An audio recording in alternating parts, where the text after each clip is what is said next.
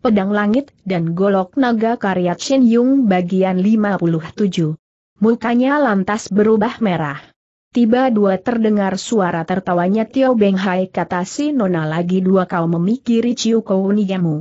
Tidak, kau memikiri apa dia tidak memikiri dia sedikit pun tiada sangkut pautnya dengan diriku. Aku hanya merasa menyesal, seorang laki dua gagah sudah berdusta di hadapan seorang wanita. Perlu apa kau berdusta? Dengan sesungguhnya aku bukan memikiri Ciu Wanyo. Dusta. Kalau ingat kau tahu Toyer It Xiao atau lain dua manusia muka jelek, paras mukamu tidak nanti mengunjuk sinar yang begitu lemah lembut yang penuh kasih saying, yang kemerah duaan. Omong kosong kau. Bukie tertawa. Kau sungguh lihai katanya. Kau dapat membaca hati orang, apa dia sedang memikiri orang ik cantik atau ik jelek. Tapi aku mau menerangkan dengan sesungguh duanya, bahwa orang ik ingat pada detik ini sedikit pun tak ada ik berparas cantik, Mendengar nada suara Ik sungguh dua si Nona tersenyum dan tidak menggoda lagi. Biarpun pintar, ia sama sekali tidak menduga, bahwa yang diingat Bu Kia adalah Ko Jie Ik mukanya tak keruan macam. Mengingat, bahwa jeleknya muka Ko Jie adalah akibat latihan Cian Ko Chia Hu Chie, Bu Kie menghela napas. Waktu si Nona muncul pada malam itu di antara murid dua Gobiet, ia mendapat kenyataan bahwa muka Kojie lebih hebat daripada dulu. Ia merasa menyesal, karena ia merasa, bahwa makin mendalam Kojie melatih diri dalam ilmu silat itu, makin besar bahaya bagi dirinya. Ia khawatir akan keselamatan si Nona, baik jasmani maupun rohani. Dengan rasa terima kasih, ia ingat budi Nona itu. Sesudah berada di Kong Benteng dan menjadi kauko karena repot, ia tak sempat memikiri segala urusan pribadi. Tapi biarpun begitu ia pernah meminta bantuan Leng Kiam untuk mencarinya di seluruh Kong Benteng. Ia pernah meminta pertolongan Wei It Xiao untuk bantu menyelidiki tapi usahanya tinggal tersia-sia. Ko Chie menghilang bagaikan batu ik tenggelam di lautan. Tiba dua sinona muncul, tak usah dikatakan lagi. Ia merasa sangat girang. Diam dua ia mengutuk dirinya sendiri, Ko Chie begitu baik mengapa dia sendiri bersikap begitu tawar? Tapi pada hakikatnya pemuda itu bukan manusia ik tidak mengenal budi. Sikap tawarnya itu adalah karena ia selalu memikiri bebannya yang sangat berat. Sebagai kau ko dari Beng Kau dan Beng Chu dari Perserikatan Segenap Rimba Persilatan. Ia tak sempat untuk mengurus kepentingan pribadi. Mendadak Tio Beng tertawa nyaring. Eh, mengapa kau menghela napas tanyanya? Sebelum Bukie menjawab di atas perahu sekonyong dua terdengar teriakan dua. Sesaat kemudian seorang anak buah Deding melapor. Di sebelah depan terlihat daratan dan nenek itu memerintahkan supaya perahu dijalankan terlebih cepat. Bukia dan Tio Beng segera mengintip dari lubang jendela. Pada jarak beberapa li, mereka melihat sebuah pulau ik besar, dengan pohon dua ik hijau di sebelah timur terlihat beberapa gunung ik menjulang tinggi ke angkasa. Dengan angin ik bagus, perahu itu berlayar dengan besar dan dengan waktu kira dua semakanan nasi, dia sudah tiba di depan pulau. Di bagian timur pulau, tidak terdapat pesisir ik lazim dari pasir cetek batu gunung di bagian itu termasuk masuk ke dalam Mari Iktak diketahui berapa dalamnya. Perahu ditujukan ke jurusan timur dan segera menempel pada batu gunung Ik menjulang ke atas dari pinggir air. Baru saja perahu itu melepas jangkar di atas gunung sekoyong dua terdengar teriakan atau jeritan dahsyatik menyerupai oman harimau dan jeritan naga. Teriakan itu ik berulang dua seolah dua menggetarkan seluruh gunung.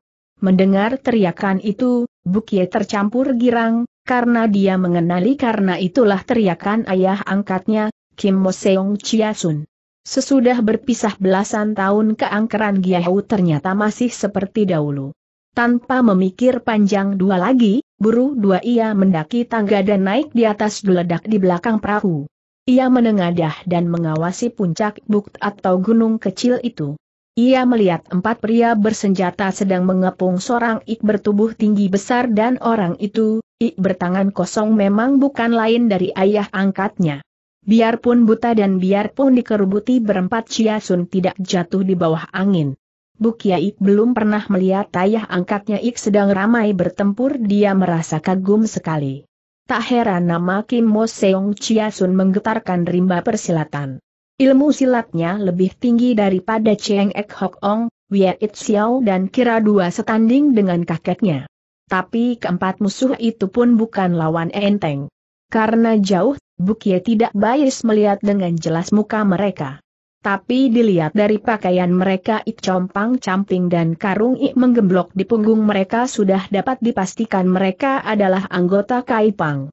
Tiga orang lain berdiri menonton, kalau empat kawannya kalah, mereka tentu turut turun tangan. Tiba dua teriakan seseorang. Serahkan Tu Liong Tu. Golok tukar dengan jiwa. Meskipun kupingnya tajam, Bukie tidak bisa menangkap semua perkataan itu. Tapi ia sudah tahu, bahwa musuh itu dating menyaturoni untuk merebut Tu Liong Tu. Chia Sun tertawa terbahak-bahak. Tu Liong Tu ada di sini. Ambillah sendiri, kalau kau mampu. Teriaknya. Sedang mulutnya berbicara, perlawanannya sedikit pun tak menjadi kendor. Dengan sekali berkelebat, Kim Hoa Popo sudah mendarat. Sambil batuk dua ia berteriak para pendekar Kaipang. Apa maksud kalian? Tanpa bicara dulu dengan si nenek, kalian mengganggu tamu terhormat dari Leng Choatu. Sekarang Bu Kie mendapat kepastian, bahwa pulau itu benar Leng Choatu.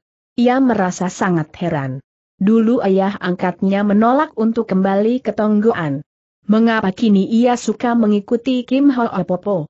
Care bagaimana si nenek tahu? bahwa ayah angkatnya berada di Penghui Ertu. Mendengar teriakan nyonya rumah, keempat orang itu rupa duanya menjadi bingung.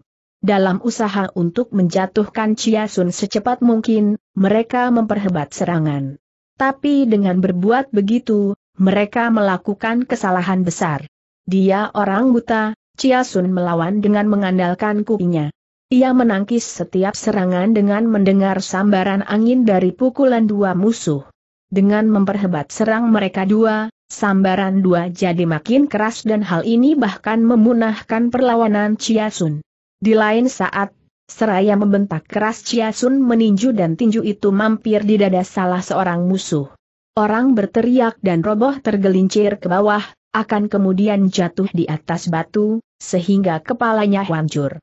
Melihat begitu, salah seorang yang nonton lantas saja membentak. Mundur. Ia melompat dan meninju, ia meninju dengan tenaga ik seperti ada dan seperti tidak ada. Sehingga Chia Sun tak bias membedakan arah sambarannya. Waktu tinju hanya terpisah beberapa dim dari tubuhnya, barulah ia bisa merasakan sambarannya dan menangkis dengan terburu dua. Sementara itu, Ketiga orang ik tadi mengerubuti sudah melompat keluar dari gelanggang. Di lain saat seorang kakek lain ik de menonton turut membantu kawannya. Ia pun menyerang dengan pukulan dua. Lembek. Sehingga baru saja bertempur beberapa jurus Sun sudah JD report sekali. Kie Tiang Lo. De Tiang Lo. Teriak Kim Hoat Popo. Kim Mo Seong buta matanya. Dengan menyerang secara licik cuma dua saja kalian mempunyai nama besar dalam dunia Kang Ou? Seraya berkata begitu, bagaikan terbang ia terus mendaki gunung. Dengan menggunakan seantro tenaganya Ko Jie mengikuti dari belakang. Sebab khawatir akan keselamatan ayah angkatnya, Bukia JG segera menyusul. Tio Beng memburu dan menyandaknya. Dengan adanya nenek itu kau tak usah khawatir. Bisiknya yang paling penting kau tak boleh memperkenalkan dirimu. Bukie menganggung dan sambil mencekap tangan si Noan ia terus berlari-lari di belakang Kojie. Sambil mengikuti dengan rasa kagum ia mengawasi potongan badan Kojie Ik langsing dan gemulai. Kalau mukanya tidak jelek karena latihan ilmu Ik susat, Nona itu pasti tidak kalah dengan Tio Beng, Ciejak atau Xiao Chiao. Mengingat begitu, jantungnya memukul keras. Di lain detik, ia mengutuk dirinya sendiri. Bukie. Bukie. Kau benar edan. Katanya di dalam hati. Sedang ayah angkatmu menghadapi bencana, kau masih bisa memikir ik gila dua. Tak lama kemudian ia sudah tiba di pinggang gunung. ia mendapat kenyataan, bahwa ayah angkatnya melawan dengan pukulan dua pendek. Itulah siasat untuk membela diri. Ia memunahkan serangan dua musuh dengan Xiao Kim Nachiu, ilmu menyengkram dan membantung dengan jarak pendek, dengan menggunakan siasat itu, untuk sementara waktu Chia Sun memang bisa menyelamatkan diri, tapi ia sukar bisa memperoleh kemenangan. Dengan menyembunyikan diri di bawah sebuah pohon siong, Bukiai mengawasi ayah angkatnya. Pada muka orang tua itu terlihat lebih kerutan sedang rambutnya sudah hampir putih semua. Rupa duanya, selama berada di Pulau Penghwe itu belasan tahun, ia banyak menderita, sehingga ia cepat tua. Bukia ikut menderita. Ia ingin sekali turut menyerbu untuk menghajar musuh. Ia ingin sekali memeluk orang tua itu dan memperkenalkan dirinya. Tio Beng mengerti, apa ik dipikirkan pemuda itu. Ia memegang tangan Bu Kie erat dua dan mengeleng duakan kepalanya. Sekonyong dua Kim Hoa Popo berkata dengan suara nyaring. Kie Tang Lo, Im San Chiang Liok Kyu sudah tersohor dalam dunia Kang O? Mengapa kau malu dua kucing dan menyembunyikan dalam pukulan Sin Chiang? Ah! Detiang Elo lebih tolol lago. Dia menyembunyikan Hui Hang Hut Liu Kun di dalam Pat Kua Kun. Apa kau kira Cia Tai Hiap tak tahu? Oh ho ho ho ho uh, uh. Ia batuk dua. Dahulu, Kaipang adalah sebuah partai besar ik dihormati sebagai partai ik selalu menolong sesama manusia, oh ho ho saying, sungguh saying makin lama jadi makin busuk. Karena tak bisa melihat pukulan musuh ik sangat licik, Cia Sun memang lagi bingung. Mendengar petunjuk si nenek ia girang. Pada detik-detik yang Loo mau mengubah pukulannya, ia membarengi dengan tinjunya. Hampir berbareng dengan ebradunya kedua tinju kanan detik yang Loo terhuyung satu dua tindak. Untung JG ia pun memiliki kepandaian tinggi sehingga ia tak sampai roboh. Sebelum Chia Sun bisa mengirim serangan susulan, Chia Tiang Loo sudah merangsek untuk menolong kawannya. Bukie mendapat kenyataan, bahwa Kieti yang Loko bertubuh Kate gemuk dan dengan mukanya ik bersinar merah, ia menyerupai seperti seorang tukang potong babo. Di lain pihak Deti yang Loko berbadan kurus kering. Di sebelah kejauhan berdiri seorang pemuda ik berusia kurang lebih 30 tahun, ia pun mengenakan pakaian kaipang dengan perbedaan, bahwa pakaiannya ik rombeng kelihatan bersih. Di punggungnya menggemblok delapan lembar karung bahwa seorang muda seperti dia bisa menjadi tiang loo, ketua, dengan pertandaan delapan karung, adalah kejadian ik luar biasa. Beberapa kali Bu Kiai mengawasi dia, ia merasa bahwa ia pernah bertemu dengan orang itu, tapi ia lupa di mana dan lagi kapan pertemuan itu terjadi. Tiba dua pemuda itu berkata, Kim Hoa Popo, terang duaan kau tidak membantu Chia Sun, tapi gelap duaan kau membantu JG. Apa kau tidak curang? Apakah Chuan yang loko dari Kepang? Tanya si nenek dengan suara tawar. Maaf, nenekmu belum pernah bertemu muka denganmu. Tentu saja Popo tidak mengenal aku, sebab belum lama aku menduduki kursi Tiang Loo. Jawabnya. Aku Shitan, namaku Yeo Eliang. Tan Yeo Eliang. Bukia lantas saja ingat. Waktu Tai Suhu mengajaknya ke Xiao Lim Xie untuk berobat, salah seorang murid Xiao Lim telah menghafal Bu Teng Kiu yang Keng dengan hanya sekali membaca. Murid Xiao Lim itu bukan lain DRPD Tan Yeo Liang. Bagaimana ia sekarang menjadi tiang loko dari partai pengemis? Tapi hal itu tidak terlalu mengherankan. Memang juga ada banyak anggota lain partai Ik masuk ke dalam Kaipang. Bahwa ia bisa menjadi tiang loko bukan kejadian luar biasa. Ia berotak cerdas.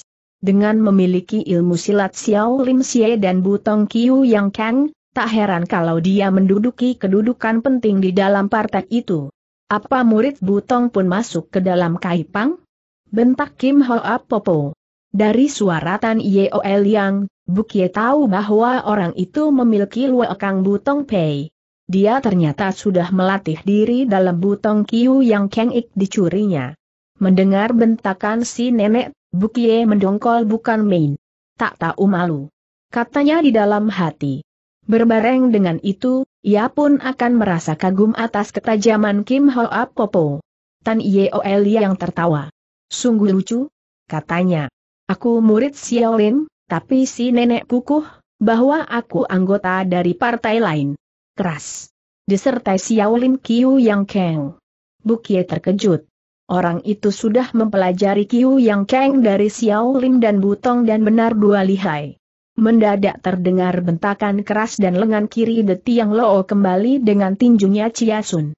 Tiga murid Kepang Ik tadi mundur dari gelanggang, dengan serentak menerjang pula dengan senjata mereka. Ilmu silat ketiga orang itu kalah jauh dari kedua tiang loko tapi penyerbuan mereka sangat menambah kerepotan Ciasun. Orang tua itu bukan saja tidak bisa melihat, tapi semenjak kedua matanya buta ia pun belum pernah bertempur, sehingga ia tidak punya pengalaman. Hari ini pertama kali ia berhadapan dengan lawan dua berat dan berkelahi dengan hanya mengandalkan ketajaman kupingnya. Dengan bertambahnya musuh, bersenjata ia lantas jatuh di bawah angina sebab ia sukar membedakan ikmana sambaran tinju ikmana sambaran senjata tajam.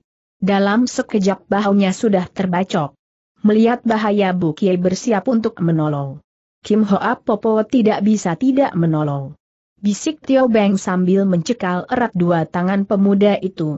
Tapi si nenek masih tenang dua saja. Sambil bersandar dengan tongkatnya ia hanya bersenyum dingin. Di lain detik, betis Chia Sun kena tendangan Tiang Loo. Tendangan itu sangat hebat, sehingga Chia Sun terhuyung hampir dua ia roboh. Kelima anggota Kai Pang itu jadi girang. Sambil berteriak mereka memperhebat serangan. Bukiai sudah siap sedia. Sebelah tangannya sudah memegang tujuh butir batu kecil. Pada detik ik sangat berbahaya, ia menimpuk dan tujuh butir batu itu menyambar ke arah lima musuh. Tapi sebelum batu dua itu mampir pada sasarannya, mendadak terlihat berkelebatnya sehelai sinar hitam. Terang. Tiga senjata putus empat sosok tubuh manusia JG putus dan jatuh ke lereng gunung. Antara kelima musuh itu hanya Deti yang Looik masih hidup dan cuma putus lengan kanannya. Ia menggeletak di tanah dengan punggung tertancap sebutir batu ik ditimpukan Umbu Kie. Keempat musuh ik sudah binasa JG tak luput dari sasaran batu. Tapi batu dua itu sudah didahului dengan babatan golok, sehingga bantuan Bu Kiai sebenarnya sudah tidak perlu lagi. Semua kejadian itu terjadi dalam sekejap mata. Di lain detik, Chia Sun kelihatan berdiri sambil mencekal sebatan golok ik berwarna hitam. Golok itu bukan lain daripada Bulim Cie Chun. Tuliong Tu. Sambil melintangkan senjatanya, Kim Mo berdiri tegak dengan semangat bergelora dan keangkeran ik tiada taranya sehingga ia seolah dua malaikat ik baru turun dari atas langit. Sedari kecil Bu Kiai sudah sering melihat golok mustika itu, tapi ia tak pernah menduga bahwa Tuliong Tu sedemikian hebat. Bulim Cie Chun Po Tu Tuliong. Boa El Im Chun Po Tu Chulion, yang termulia dari rimba persilatan adalah golok mustika Chuliong. Sementara itu The Tiang Lok Oik putus lengannya terus berteriak dua. Dengan paras muka pucat Tan Yeol yang berkata, Ciat Tai Hiap, aku akan merasa sangat takluk dengan ilmu silatmu. Aku mohon kasuka mengampuni jiwa The Tiang Lok dan membiarkan dia turun gunung. Aku bersedia untuk menggantikan jiwanya dengan jiwaku sendiri. Cia Tai Hiap kau turun tanganlah. Semua orang kaget. Mereka tak sangka pemuda itu mempunyai gie gie, perasaan persahabatan, i begitu besar. Gie adalah sesuatu ilmu silatik sangat hebat dalam rimba persilatan dan tiada bandingannya di kolong langit ini oh, nolo dewe o nol, oh aku akan mempelajari ilmu silatik lebih tinggi dan sepuluh tahun kemudian, aku akan menemui Ciatai Hiap lagi. Kalau mau, dengan sekali membabat Chia Sun bisa membinasakan Tan Yeol Yang dan menyingkirkan ancaman di hari kemudian. Tapi ia seorang ik bernyali sangat besar dan sedikit pun ia tak merasa jeri terhadap ancaman itu. Baiklah, katanya. Jika Lohu masih hidup, sepuluh tahun kemudian Lohu akan meminta pelajaran mengenai Sinkang dari Xiao Lim dan Butong. Tan Yeol yang merangkap kedua tangannya dan sambil membungkuk ia berkata kepada Kim Hoa Popo. Kei Pang telah mengacau di pulau ini dan aku meminta maaf. Sesudah itu mendukung The Tiang Lo, ia berlalu. Seperginya Tan Yeo Liang, dengan mata melotot Kim Hoa Popo mengawasi Bu Kie. Bocah ilmu menimpuk muliha juga. Katanya. Tapi mengapa di dalam kedua tanganmu, kau memegang tujuh butir batu? Apakah sebutir untuk Tan Yeo Liang dan sebutir lagi untuk aku sendiri? Bukie terkejut karena is nenek sudah dapat menebak niatnya. Ia tak bisa segera menjawab dan hanya tersenyum. Bocah. Bentak Kim Hoa Popo dengan gusar. Siapa kau? Mengapa kau menyamar sebagai anak buah kapal? Mengapa kau menguntit nenekmu? Bocah. Di hadapan Kim Hoa Popo, kau tidak boleh main gila. Dibentak begitu, Buk Yaip tidak bisa berdosa jadi gugup. Untung CG Tio Beng lantas menolong. Dengan mengubah suaranya, si Nona berkata, Kini orang dua Kie Kengpang memang biasa berdagang tanpa modal di lautan terbuka, Popo telah mengeluarkan banyak uang untuk menyewa kapal itu. Halangan apa kalau katai mengantar Popo? Melihat Kei Pang menghina orang mengandalkan jumlahnya besar, saudaraku sudah membantu. Maksudnya baik sekali. Di luar dugaan Chia Tai Hiap memiliki kepandaian ik begitu tinggi, sehingga bantuan itu sebenarnya tidak perlu. Ia berbicara dengan nada seorang pria ik agak terlalu nyaring. Baik juga si nenek tidak memperhatikan keganjilan itu. Chia Sun mengibaskan tangan kirinya dengan berkata terima kasih, kalian pergilah. Hai, Kim Mo Seong telah jatuh di tanah datar dan hai ini ia mesti menerima bantuan Kim Keng Pang. Selama berpisahan dengan dunia Kang Ou kira dua-dua puluh tahun, dalam rimba persilatan telah banyak muncul orang pandai. Hai, sebenarnya, perlu apa kau kembali di Tionggoan? Ia mengeluarkan kata dua itu dengan suara berduka. Timpukan bukit telah mengejutkan hatinya, karena dari sambaran angin ia tahu, bahwa orang Ik menimpuk adalah seorang Ik berkepandaian sangat tinggi, Ik jarang terdapat di dalam dunia. Di samping itu ia telah berhasil membinasakan musuh duanya hanya karena bantuan Chu Leong Tu. Tanpa merasa ia ingat kegagahannya pada 20 tahun berselang, pada ia mengamuk di Pulau Ong Po San mengingat berbedaan antara dahulu dan sekarang, ia jadi berduka. Chia Hian Te Kata Kim Hoa Popo. Aku tidak membantu kau, sebab ku tahu, bahwa kau dan aku selamanya tidak suka dibantu Irang. Chia Hian Tue, apa kau tidak gusar? Mendengar si nenek memanggil ayah angkatnya dengan istilah Hian Tue, adik, Bukie kager tercampur heran. Tak usah sebut gusar, atau tidak gusar. Kata Chia Sun. Bagaimana dengan hasil penyelidikanmu? Apakah kau sudah mendapat kabar tenang anakku Bukie? Bukie terkesiap. Hampir berbareng ia merasa tangannya dipijit Tio Beng. Ia tahu bahwa si Nona melarang ia bergerak. Tadi ia karena ia tidak menghiraukan nasihat Tio Beng, hampir dua ia berurusan dengan si nenek karena urusan batu. Maka Yetia sekarang tidak berani berlaku sembrono lagi dan sebisa dua menahan hatinya. Belum. Aku tidak berhasil. Jawab si nenek. Cia Sun menghela napas. Sesudah berdiam beberapa saat, ia berkata Han Hujin, kita berdua adalah saudara. Tak boleh kau menipu aku sebab mataku buta. Bilanglah. Apakah anakku Bukie masih hidup? Sebelum si nenek keburu menjawab, mendadak Koje mendahului. Cia Tai Hiap. Tapi ia tidak bisa meneruskan perkataannya, karena tangannya dipijit nenek Kim Hoa yang menatap wajahnya dengan melotot. Inkau Niu. Kata Ciasu tergesa-gesar. Omong terus. Hayo. Apa Popo menipu aku? Dia berdusta bukan? Air mata si Nona mengalir turun di kedua pipinya. Dengan muka menyeramkan, si nenek menempelkan telapak tangannya pada batok kepala Kojie. Si Nona tahu, bahwa kalau ia berani bicara secara bertentangan dengan kemauan poponya, ia bakal binasa seketika. Cia Tai Hiap. Katanya. Popo tidak menipu kau. Kami tidak mendapat kabar apa pun jua tentang Tio Bukie. Paras muka si nenek berubah terang, ia mengangkat tangannya dari batok kepala Kojie, tapi tangan kirinya Mais tetap mencekal pergelangan tangan nona itu. Apa saja ik didengar olehmu? Tanya pula Chia Sun. Bagaimana dengan bengkau? Bagaimana dengan sahabat dua lama? Tak tahu. Jawab si nenek. Aku tidak memperdulikan urusan Kang Ou. Yang penting bagiku adalah mencari Biat Kot Sutai untuk membalas sakit hati. Urusan lain tidak menarik hatiku, bagus. Teriak Chia Sun dengan gusar. Han Hujin, apa ik dikatakan olehmu pada hari itu di Pulau Teng BWR2? Kau mengatakan, bahwa Tionggo Te suami istri telah membunuh diri di Butongsan. Kau mengatakan bahwa anakku Bukie telah yatim piatu ik terhina dua, Red kalau tidak salah, dalam dunia Kang Ou dan di mana dua dihina orang. Kau mengatakan, Sungguh kasihan anak itu. Bukankah kau mengatakan itu semua? Benar. Kau mengatakan bahwa anakku itu kena pukulan Hian Beng Sin Chiang, sehingga siang dan malam ia menderita kedinginan. Kau mengatakan juga bahwa di Oh Hiap kok, kau telah bertemu dengan dia. Kau coba membawa dia ke Lengkot Tu, tapi ia menolak. Taulah ik dikatakan olehmu, bukan? Benar. Jika aku menipu kau, biarlah aku dikutuk langit dan bumi.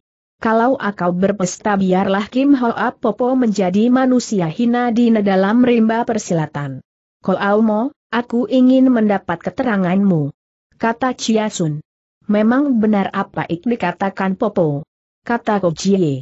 Aku telah membujuk ia untuk mengikut ke Leng Choatu. Ia bukan saja menolak, ia bahkan menggigit belakang tanganku. Sampai sekarang masih ada tandanya. Aku tidak berdusta. Mendengar keterangan itu, tiba dua Tio Beng memijit tangan Bu Kiet, sedang pada kedua matanya terlihat sinar mengejek dan mendongkol. Maka Bu Kiet lantas saja berubah merah. Sekonyong-konyong si Nona mengangkat tangan Bu Kie ke mulutnya dan menggigit belakang tangan si pemuda itu. Darah lantas saja mengalir keluar. Karena gigitan itu, Kyo Yang Sin Kang Ik berada di dalam tubuh Bu Kie lantas saja bergerak secara wajar untuk melawan Sraokna luar, sehingga sebagai akibatnya, bibir si Nona pecah dan berdarah. Tapi sambil menahan sakit mereka tidak mengeluarkan suara. Dengan rasa heran Bu Kie mengawasi Nona Tio. Ia tidak tahu mengapa Nona itu menggigit tangannya. Di lain pihak, Nona Tio balas mengawasi dengan sinar mata, tertawa dan paras muka kemerah duaan. Dalam keadaan begitu, biarpun mulutnya berlepotan darah dan biarpun di atas bibirnya terdapat kumis palsu, ia kelihatannya cantik luar biasa. Mendadak terdengar teriakan Sun. Bagus! Han Hanjin, hanyalah sebab memikiri nasih anakku Bukiet, maka aku rela berlalu dari Penghwe itu dan pulang ke Tionggoan. Kau berjanji akan mencari anakku itu. Mengapa sekarang kau tidak menepati janjimu itu? Bukie tidak bisa menahan rasa sedihnya lagi. Air matanya lantas saja mengucur. Sekarang ia tahu, bahwa ayah angkatnya sudah rela menempuh segala bahaya, rela menghadapi musuh dua ik berjumlah besar dengan kedua mata, tidak bisa melihat, karena memikiri dirinya. Apa kau lupa perjanjian kita? Tanya Kim Hoa Popo. Aku mencari Tio Buk Ye dan kau meminjamkan Tu Liong Tu kepadaku. Chia Hian Te, begitu lekas kau menepati janjimu, aku pun akan segera menyelidiki anak itu secara sungguh dua. Perkataan Kim Hoa Popo berat bagaikan gunung. Tak nanti aku mungkin janji. Chia Sun menggeleng duakan kepala. Bawa dulu Bukie ke hadapanku, barulah aku menyerahkan Tu Liong Tu. Katanya. Apa kau tidak percaya aku dalam dunia ini banyak terjadi kejadian ik tidak dapat diramalkan lebih dahulu. Bahkan di antara orang dua ik mempunyai hubungan seperti bapak dan anak, seperti saudara kaundung JG sering terjadi kejadian melanggar kepercayaan. Bukiai tahu, bahwa dengan berkata begitu ayah angkatnya ingat kebusukan Sengkun. Apa benar kau tidak suka meminjamkan Culiong Tu kepadaku? Tanya si nenek dengan suara mendongkol. Sesudah aku melepaskan Tan Yeo Elang aku bakal terus disetaroni musuh. Jawabnya. Entah berapa banyak musuh duaku akan DTG ke sini untuk mencari aku. Keadaan Kim Mo Seong tidak seperti dahulu. Kecuali Tu Liong Chu aku tak punya lain pembantu. Huhau. Tiba dua ia tertawa dining. Han Hujin, waktu lima musuh mengepung aku, orang gagah dari Kie Kengpang telah menyediakan tujuh butir batu. Apakah aku tidak boleh merasa curiga juga? Huhau. Rupa duanya kau mengharap supaya aku binasa di dalam tangannya orang dua kaipang. Sesudah aku mampus dengan mudah kau bisa merampas golokku. Metu Sun buta, tapi hatinya tidak buta. Han Hujin aku mau tanya, kedatangan Sun ke Leng Choatu dan senjata dua ik dipakai dirahasiakan. Mengapa rahasia itu bocor? Mengapa orang dua kait pang sampai menyaturoni aku di sini? Hal itu justru diselidiki olehku. Chia Sun tersenyum getir dan lalu memasukkan Tu Liong Tu ke dalam jubahnya. Jika kau tak mau menyelidiki anakku Bukie, aku pun tidak bisa memaksa. Katanya. Jalan satu-duanya bagi Chia Sun ialah masuk pula dalam dunia Kang dan melakukan pula perbuatan dua ik menggemparkan. Ia menengadah bersiul nyaring dan kemudian berlari dua turun dari tanjakan di sebelah barat. Biarpun buta ia bisa berlari dengan cepat menuju sebuah gunung kecil ik terletak di sebelah utara pulau. Di puncak gunung terdapat sebuah gubuk kecil. Gubuk itu rupa duanya gubuk Ciasun. Sesudah Kim Mo Seong berlalu sambil mengawasi Bu Kia dan Tio Beng dengan mata melotot Kim Hoa Popo membentak. Pergi. Nona Tio segera menarik tangan Bukia dan mereka lalu kembali ke kapal. Baru saja tiba di kapal, Bukia berkata, Aku mau menengok Giehu. Apa kau tidak lihat sinar mata si nenek Ik sangat ganas? Kata Tio Beng. Aku tidak takut padanya. Aku merasa bahwa pulau ini diliputi macam dua rahasia. Mengapa orang dua kait pang ik bisa DTG ke sini? Care bagaimana Kim Hoa Popo tahu tempat bersembunyi ayah angkatmu? Care bagaimana dia bisa mencari ayah angkatmu di Penghui R2? Banyak pertanyaan masih belum terjawab. Memang sukar untuk membinasakan nenek itu. Tapi begitu lekas dia binasa, semua teka-teki tidak bisa dipecahkan lagi. Aku pun bukan mau membinasakan Kim Hoa Popo. Aku hanya ingin menemui Giahu karena melihat penderitaannya aku merasa sangat tidak tega. Nona Tio menggeleng duakan kepala. Dengan ayah angkatmu, kau sudah berpisah belasan tahun? Katanya. Kau harus bisa menahan sabar sehari dua, Tio Kongko aku ingin mengajukan sebuah pertanyaan. Apakah kita harus berwaspada terhadap Kim Hoa Popo atau harus lebih berjaga dua terhadap Tan Yeol yang menurut pendapatku, Tan Yeol yang adalah seorang laki dua tulen ik sangat mengutamakan persahabatan. Tio Kong Kyo, apa kau tidak coba menipu aku? Apa jawabanmu jawaban setulus hati? Menipu kau? Tan Yeol yang rela menerima kebinasaan untuk menggantikan The Tiang Elo. Apa itu bukan perbuatan iksuka dilakukan? Apakah kita tidak harus menghormatinya sebagai seorang laki dua sejati? Tio Beng menatap wajah Bu Kie. Ia menghela napas dan berkata dengan suara menyesal. Tio Kongko, kau seorang kaucu dari Bengkawik harus memimpin begitu banyak orang gagah, ku tak nyana kau bisa ditipu orang secara begitu mudah? Ditipu orang? Terang dua Tan Yeol yang menipu Chia Tai Hiap. Kau sendiri melihat dengan matamu. Apa kau tak sadar akan adanya tipu itu? Bu Kiai berjingkrak. Dia menipu Gigehu? Ia menegas. Dengan sekali membabat, Chia Tai Hiap telah membinasakan orang dan melukakan seorang jago kaipang. Namun andai kata saja Tan Yeol yang memiliki ilmu silatik lebih tinggi lagi, ia pasti tidak akan bisa meloloskan diri dari Tu Liong Tu. Dalam keadaan begitu, seorang manusia biasa hanya melihat dua jalan. Melawan dengan nekat untuk membinasakan atau menekuk lutut dan minta ampun. Chia Tai Hiap tidak ingin lain orang tahu tempat bersembunyinya. Biarpun Tan Yeol yang berlutut 300 kali, belum tentu ayah angkatmu bersedia mengampuni jiwanya. Tapi Tan Yeol yang seorang manusia luar biasa. Dengan otaknya Ik sangat cerdas, segera menempuh jalan hidup satu-duanya yaitu berlagak seperti seorang ksatria, berlagak menjadi seorang laki dua tulen Ik mengutamakan Gie Hie. Tio Kong Chu sebagai manusia Ik sangat pintar, Mustahil kau tidak bisa melihat tipu daya Ik sangat licik itu? Sambil memberi keterangan, si Nona menempelkan koyo pada luka di tangan Bukie karena gigitannya dan kemudian membalutnya dengan menggunakan sapu tangannya sendiri. Keterangan Tio Beng sangat beralasan TP mengingat sikap dan suara Tan Yeol yang IKWKT itu sangat bersungguh dua, Bukie menyangsikan kebenaran penafsiran si Nona. Baiklah. Kata pula Nona Tio. Sekarang aku ingin mengajukan lain pertanyaan. Waktu Tan Yeol yang bicara dengan Chiat Tai Hiap, bagaimana sikap kedua tangan dan kedua kakinya? Bukie tertegun. Tak dapat ia menjawab pertanyaan itu. Waktu Tan Yeol yang berbicara, ia hanya memperhatikan paras muka pemuda itu dan paras muka ayah angkatnya. Ia tidak memperdulikan tangan dan kaki Tan Yeol yang ia melihat, tapi seperti juga tidak melihat. Sekarang, dengan munculnya pertanyaan Tio Beng, di depan matanya terbayang kembali peristiwa itu, Terbayang sikap dan gerakan Tan Yeol yang selagi dia mengeluarkan kata dua seorang ksatria.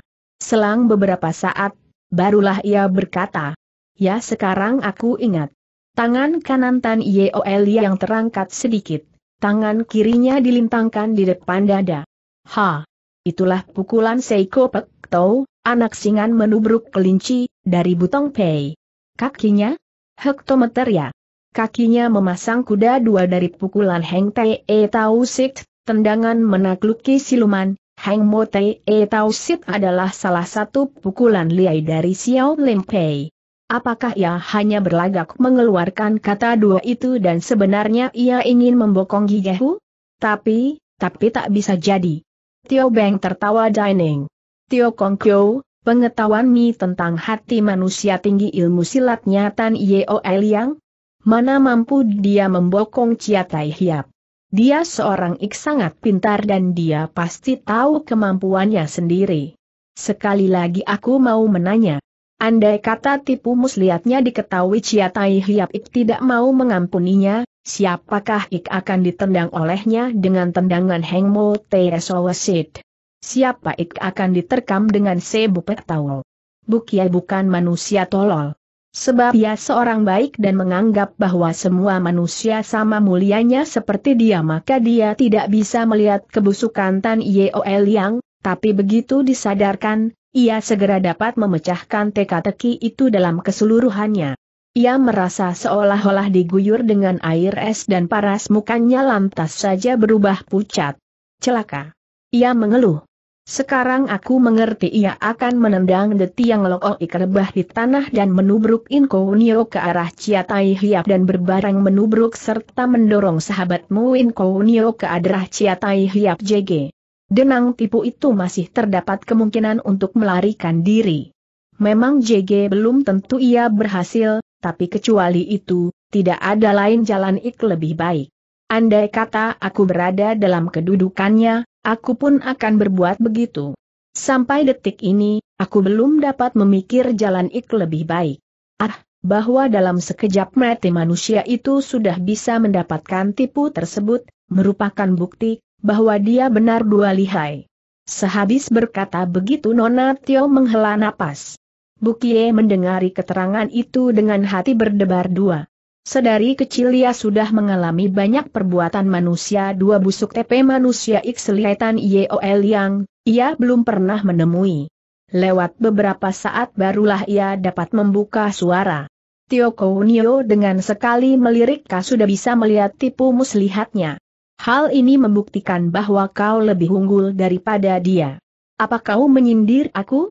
Tanya si Nona dengan suara jengah. Tio Kongcu, jika kau khawatir akan kelihayan atau kejahatanku lebih baik kau menyingkir jauh dua. Bukie ketawa geli. Tak usah.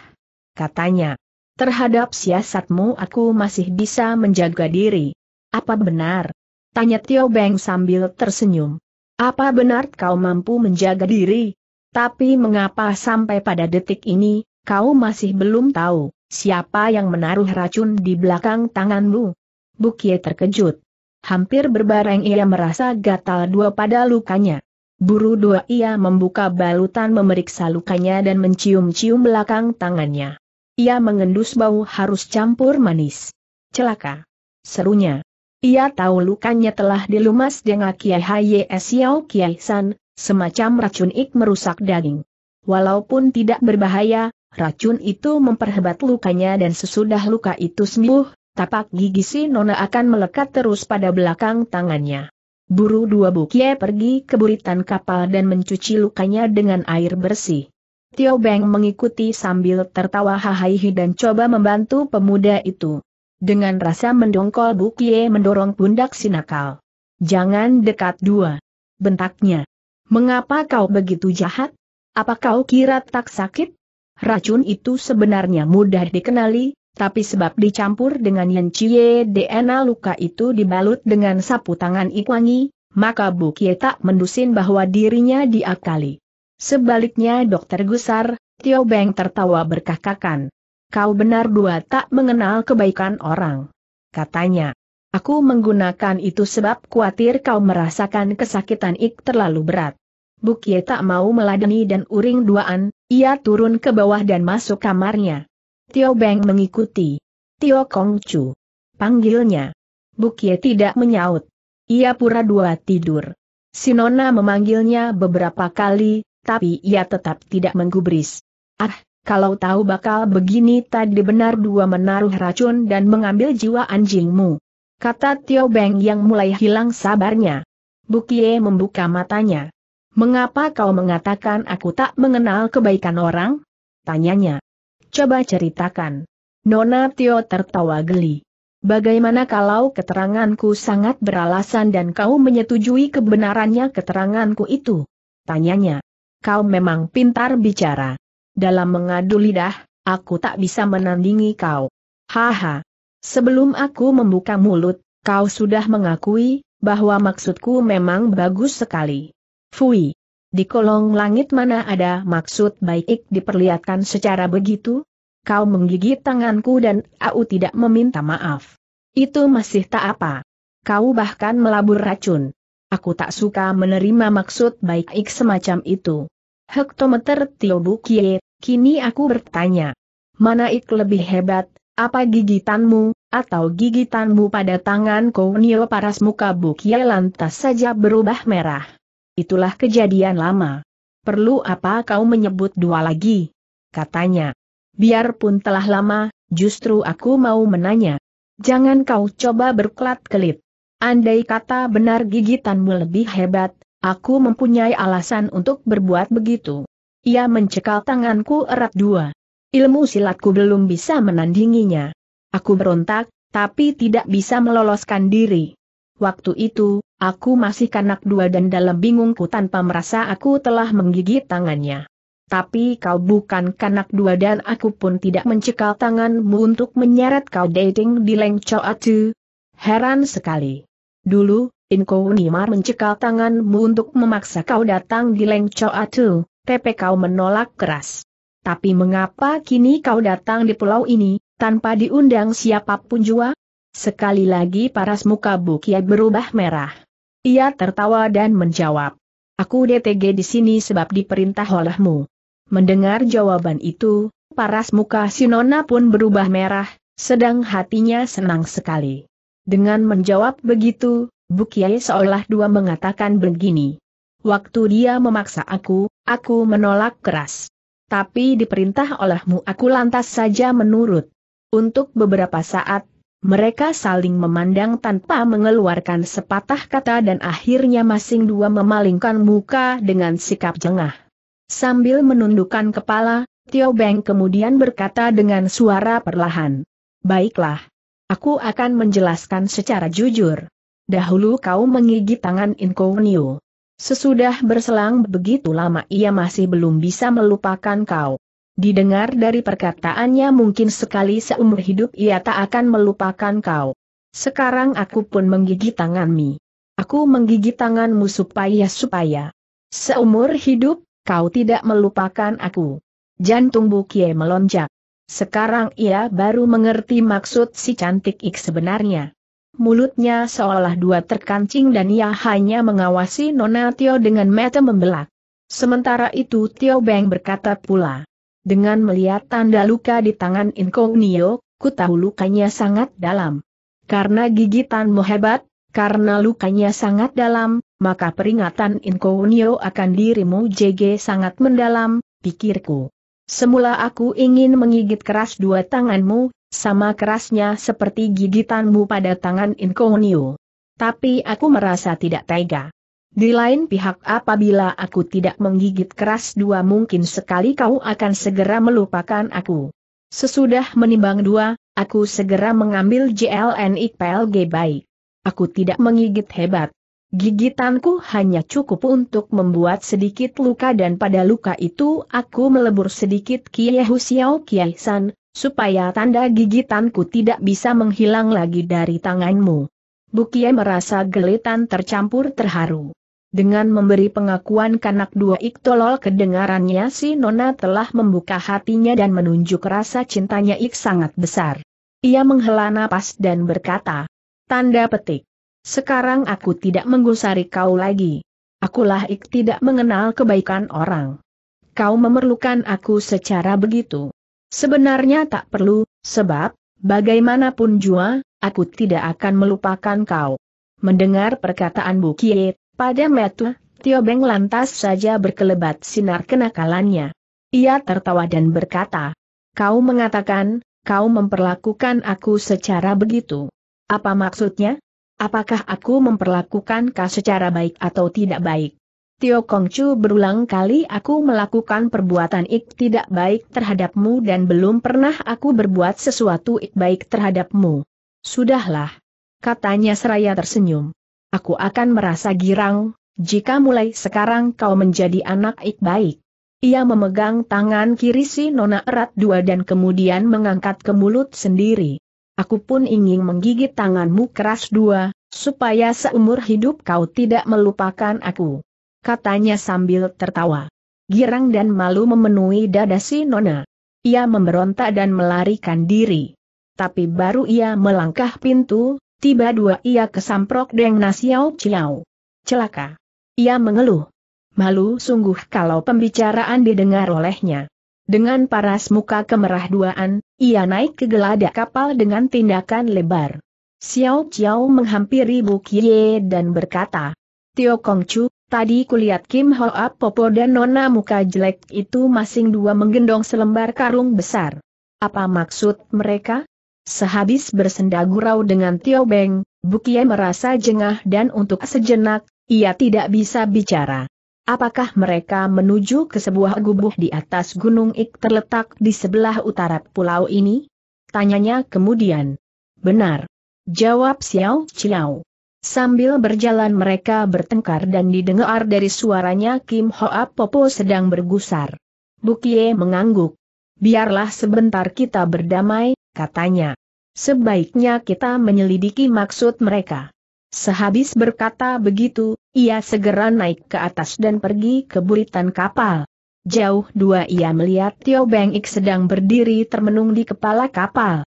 Ia mengawasi si Nona dengan pikiran bergelombang seperti turun naiknya ombak Ik memukul badan kapal. Lama ia berdiri di situ. Sesudah Seng Surya menyelam ke barat dan Pulau Leng Choatu diliputi kegelapan, barulah ia turun ke bawah. Sesudah makan malam, Bukiai berkata kepada Tio Beng dan Xiao Chiao. Aku ingin menengok Giehu. Kalian tunggu saja di kapal. Jangan pergi sekarang. Kata Tio Beng. Tunggu sejam lagi. Bukiai menganggukkan kepala.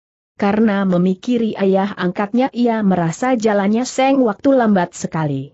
Sesudah berselang kurang lebih satu jam ia berbangkit dan sambil tersenyum ia menghampiri pintu. Tunggu. Kata Tio Beng sambil membuka tali Etian Kiam dari pinggangnya. Tio Kongcu, bawalah pedang ini untuk menjaga diri. Bukie terkejut. Kau lebih memerlukan senjata itu untuk menjaga diri. Katanya. Tidak. Aku sangat berkhawatir akan kepergianmu ini. Mengapa berkhawatir? Entahlah. Kim Hoa Popo sukar ditebak maksudnya. Tan Yeol yang banyak tipu muslihat. Di samping itu ayah angkatmu JG belum tentu percaya, bahwa kau ada si anak Bu Kie. Hai! Pulau ini dinamakan Leng Choa, ular sakti. Mungkin sekali di pulau ini terdapat makhluk beracun ik sangat lihai. Apa pula? Ia tidak meneruskan perkataannya. Apa pula apa? Tio Beng tidak menjawab. Sambil tertawa dengan muka bersemu dadu, ia mengangkat sebelah tangannya ke mulut sendiri ik dibuka seperti orang mau menggigit. Biar Kie tahu, bahwa ik dimaksud Nona Tio adalah Enli saudari sepupunya. Ia tersenyum dan lalu berjalan pergi. Sambutlah. Teriak Tio Beng seraya melontarkan Ietian Kiam. Mau tak mau Bukie menyambuti. Jantung relaannya itu, sekali lagi Tio Beng menunjuk rasa cintanya Ik sangat besar. Sesudah menyisipkan senjata mustika itu di punggungnya, dengan menggunakan ilmu mengentengkan badan Bukie berlari-lari ke arah gunung di sebelah utara Leng Atu. Untuk menghindarkan diri dari serangan binatang beracun, ia hanya menginjak batu dua gunung. Kira dua semakanan nasi, ia sudah tiba di kaki puncak. Ia mengadah dan sayup dua melihat gubuk ayah angkatnya Ik diliputi kegelapan. Lampu sudah dipadamkan, apa Giyahu sudah tidur? Tanyanya di dalam hati. Di lain saat ia ingat, bahwa ayah angkatnya tidak bisa melihat dan sama sekali tidak memerlukan penerangan. Mendadak di lereng gunung sebelah kiri lapat dua ia mendengar suara manusia. Dengan merangkak ia maju untuk mencari suara itu tiba dua menghilang pula. Secara kebetulan, angin dari sebelah utara meniup dengan kerasnya sehingga pohon dua bergoyang dua. Dengan menggunakan kesempatan itu, ia berlari dua ke arah suara tadi. Sebelum angin berhenti, dalam jarak 4-5 tombak, ia sudah mendengar suara seorang ik berbicara sangat perlahan. Mengapa kau tidak lantas bekerja? Mengapa kau main lambat duaan? Itulah suara Kim Hoa Popo. Popo, dengan berbuat begini kan berdosa terhadap seorang sahabat. Kata seorang wanita bukan lain daripada Inli. Selama puluhan tahun Ciatai Hiap bersahabat dengan Popo, maka dari penghwe itu ia telah datang di sini. Dia percaya aku? Jangan kau omong ik gila dua. Kalau benar dia percaya mengapa dia tak sudi meminjami Tio Leong Tu. Pulangnya ke Tionggoan adalah untuk mencari anak angkatnya. Ada sangkut paut apakah dengan diriku? Bukie mengerti, bahwa nenek itu sedang mengatur tipu untuk mencelakai ayah angkatnya guna merampas Su Leong Tu. Dengan hati dua ia maju lagi beberapa tindak dan di antara kegelapan, ia melihat peta badan si nenek. Tiba dua ia mendengar suara tring. Seperti logam beradu dengan batu. Lewat beberapa saat, suara itu terulang pula. Ia merasa sangat heran tapi ia tidak berani maju terlebih jauh. Popo. Demikian terdengar suara Enli. Jika kau mau goloknya secara terang duaan, seperti caranya seorang gagah. Nama Kim Hoa dan Gin Hiap dari Leng Cho atau pernah mengantarkan dunia Kang Ou kalau perbuatan Popo sampai tersiar di luaran bukanlah Popo akan ditertawai oleh segenap orang gagah. Biarpun Popo dapat merampas Suliong Tu dan mengalahkan murid God BYP muka Popo tak menjadi terlebih terang. Bukan main gusarnya si nenek. Budak kecil. Bentaknya. Siapa ik sudah menolong jiwamu dari bawah telapak tangan ayahmu? Sekarang kau sudah besar dan aku tak suka mendengar lagi perkataan. Cia Sun bukan sanakmu. Mengapa kau coba melindungi dia secara begitu mati duaan? Jawab. Jawab. Pertanyaan Popo. Bergusar ia bicara dengan suara sangat perlahan seperti juga ia khawatir perkataannya akan didengar oleh Cia Sun Ik berada di atas pundak. Imeli menghela napas. Ia melontarkan karung ik dipegangnya ke tanah dan jatuhnya karung disertain suara gemerincing, es edang ia sendiri mundur beberapa tindak. Oh, begitu? Bentak pula si nenek. Ibarat burung sekarang bulumu sudah tumbuh semua dan kau ingin terbang sendiri. Bukankah begitu? Di antara kegelapan Bukie melihat sinar mata si nenek I, dingin dan berkeredepan. Popo. Kata Inli dengan suara sedih. Aku takkan melupakan budimu ik sangat besar. Popo sudah menolong jiwaku dan mengajar ilmu silat kepadaku. Akan tetapi Ciatai Hiap adalah ayah angkatnya. Nenek Kim Hoa tertawa getir.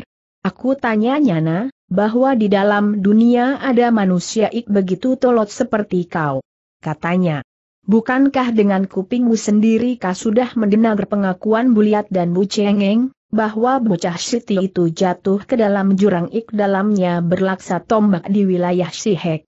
Pada waktu ini tulang duanya mungkin sudah jadi tanah. Dan kau masih memikiri dia. Tapi Popo entah mengapa aku tetap tidak bisa melupakan dia. Kata si Nona. Mungkin sekali inilah apa Ik pernah dikatakan Popo tentang hutang pada penitisan Ik lampau. Si nenek menghela napas dan paras mukanya jadi terlebih sabar. Sudahlah. Hapuskan bocah itu dari keringatmi. Katanya dengan membujuk. Dia sekarang sudah mati. Andai kata kau dan dia sudah jadi suami istri, kau pun tak bisa berbuat apa pun jua.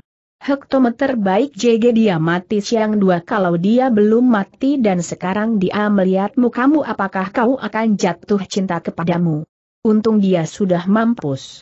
Kalau tidak kau harus menyaksikan dia bercinta duaan dan menikah dengan wanita lain. Apabila terjadi kejadian itu bukankah kau akan lebih menderita daripada sekarang? Ini tidak menjawab. Ia menundukkan kepala dan air mata meleleh turun di kedua pipinya. Kita tak usah menyebut wanita lain. Kata pula si nenek. Lihat saja Ciu Kounioik di tawan kita. Dia cantik dan ayu bagikan bunga. Kalau Siti itu masih hidup dan melihat Nona Ciu dia pasti akan jatuh cinta. Dan kau? Apa ik akan diperbuat olehmu? Apa kau akan membunuh Ciu Kounio atau akan membunuh bocah Sitio itu? Huh, huh, jika kau tak melatih diri dalam Ciat Ciu kau akan menjadi seorang gadis sangat cantik. Tapi SKRG segala apa sudah kasep. Benar. Kata Inli dengan suara sedih. Orangnya sudah mati, sedang mukaku sudah rusak. Tak guna bicara panjang dua lagi. Tapi Ciatai Hiap adalah ayah angkatnya. Popo, aku hanya memohon belas kasihanmu dalam hal ini. Mengenai lain urusan, Aku berjanji akan menaati segala perintahmu. Sehabis berkata begitu, ia berlutut dan menangis segak dua sambil memanggut duakan kepalanya.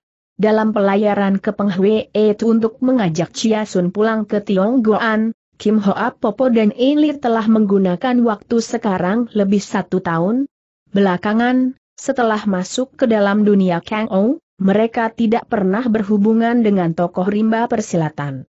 Itulah sebabnya mengapa sampai sekurang mereka belum tahu bahwa Bukie telah menjadi kaucu dari bengkau. Sesudah memikir beberapa saat, Nenek Kim Hoa berkata, baik kau bangunlah. Terima kasih Popo. Kata si Nona dengan girang. Aku hanya meluluskan permohonanmu untuk tidak mengambil jiwanya. Tapi tekadku untuk merampas Suliong Tu tidak dapat diubah lagi. Tapi Popo, jangan rewel. Jangan sampai darahku meluap. Sehabis membentak, si nenek mengayun tangannya kering. Demikian terdengar suara beradunya logam dengan batu. Sambil maju dengan perlahan, ia mengayun tangannya berulang dua dan setiap nyanan tangan diiring dengan suara kering. Ini sendiri berduduk di batu seraya menangis dengan perlahan. Melihat kecintaan nona itu terhadap dirinya. Bukie merasa sangat terharu dan berterima kasih.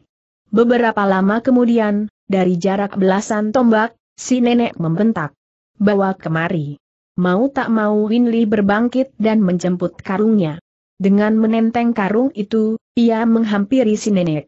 Bukie merangkak maju beberapa tindak. Tiba dua ia bergidik ia merasa punggungnya diguyur dengan air es mengapa, karena di batu dua gunung dalam jarak dua tiga kaki, tertancap sebatang jarum bajait panjangnya kira dua delapan cun dengan tajamnya mendungak ke atas. Ah! Nenek Kim Hoa benar dua jahat. Sebab khawatir tidak bisa menjatuhkan ayah angkatnya, dia memasang barisan jarum. Rupa duanya Kim Hoa Popo menganggap bahwa ia juga menggunakan senjata rahasia, ia belum tentu bisa berhasil. Sebab Kim Mo Seong bisa berkulit, red berkelit, dengan mendengar sambaran angin. Bukiai seorang manusia ik sangat sabar. Tapi SKRG darahnya meluap. Sebisa dua ia mencekam hawa amarahnya karena ia tahu bahwa dengan mengumbar nafsu ia bisa merusak urusan besar. Semula ia ingin segera mencabut jarum itu dan melocoti topeng si nenek, tapi ia segera membatalkan niatnya karena mendapat lain pikiran. Nenek jahat itu memanggil Giehu dengan istilah Chia Hian. Dahulu mereka tentu mempunyai perhubungan ik lebih erat. Sekarang kutunggu sampai ia bertengkar dengan Giehu dan pada saat tepat, aku membuka topengnya. Hari ini langit menaruh belas kasihan sehingga secara kebetulan aku berada di tempat ini. Giehu pasti tidak akan mengalami bahaya apa pun jua. Sesudah mengambil keputusan, dengan pikiran lebih tenang, ia segera duduk di atas sebuah batu. Sekonyong dua angin meniup dan di antara suara anginnya terdapat lain suara seperti jatuhnya selembar daun tapi Buk Ye yang berkuping tajam sudah tahu bahwa suara itu adalah Tan Yeol yang ik tangannya memegang sebatang golok bengkok. Golok itu sangat tipis dan dibungkus dengan selembar kain untuk menendang sinarnya. Melihat lagak orang ik seperti maling, diam dua Buk Ye memuji, tepatnya tebakan Buk Ye. Dengan sesungguhnya dia bukan manusia baik dua, katanya di dalam hati. Mendadak terdengar seruan Kim Hoa Popo. Chia Hian Tue, penjahat anjing ik tak mengenal mampus DTG menyatroni lagi. Bukie terkejut. Nenek Kim Hoa sungguh tidak boleh dibuat gegabah. Apa dia JG sudah tahu kedatanganku? Tanyanya pada diri sendiri. Ia melihat Tan Yeol yang sendiri sudah merebahkan diri di rumput, tanpa berani bergerak. Dengan sangat hati dua ia maju lagi beberapa tombak. Ia ingin berada terlebih dekat dengan ayah angkatnya untuk merintangi setiap bokongan dari si nenek. Di lain saat orang ik bertubuh tinggi besar keluar dari gubuk. Orang itu adalah Chia Sun. Ia berdiri tegak tanpa mengeluarkan sepatah kata. Chia Hian Tue, kau selalu bercuriga terhadap sahabat lama, tapi menaruh kepercayaan besar terhadap orang luar. Kata Kim Hoa Popo. Tadi siang kau melepaskan Tan Yeol Yang dan sekarang dia datang lagi. Tombaik terang gampang dikelit, anak panah gelap sukar dijaga. Jawabnya. Selama hidupnya Chia Sun paling sering menderita karena perbuatan orang sendiri. Kalau Tan Yeol yang mau mencari aku biarlah dia mencari aku. Chia Hian Tue, perlu apa kau meladeni manusia rendah itu? Kata si nenek. Tadi siang waktu kau mengampuni jiwanya, apa kau tahu sikap kedan tangannya?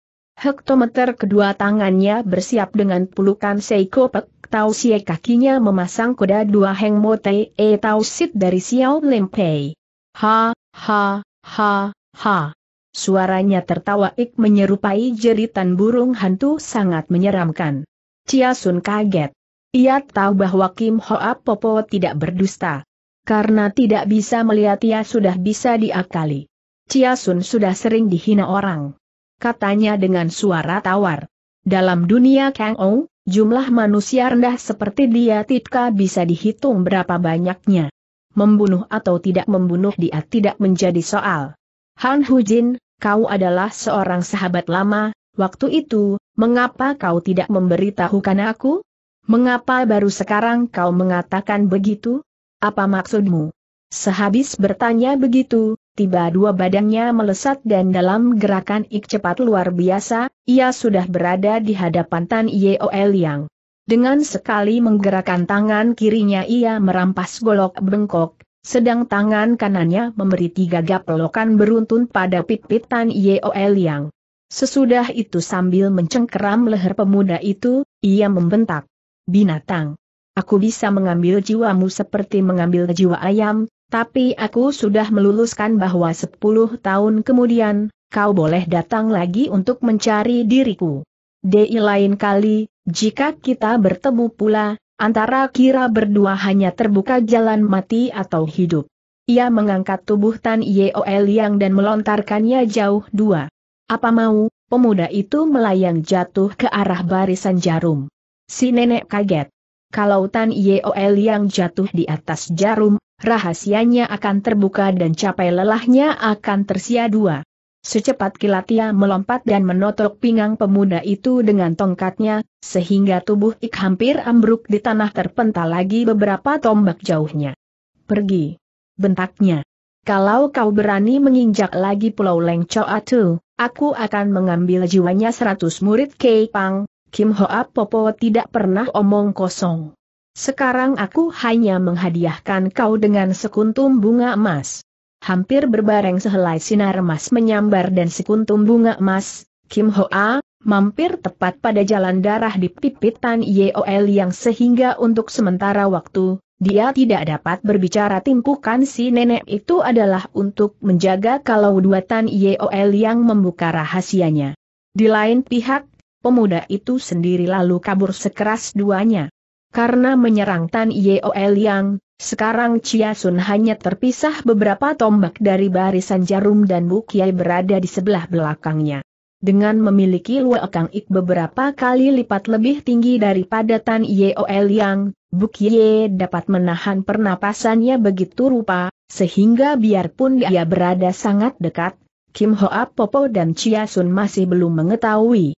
Chia Hian Tue, kau sungguh lihai. Memuji si nenek.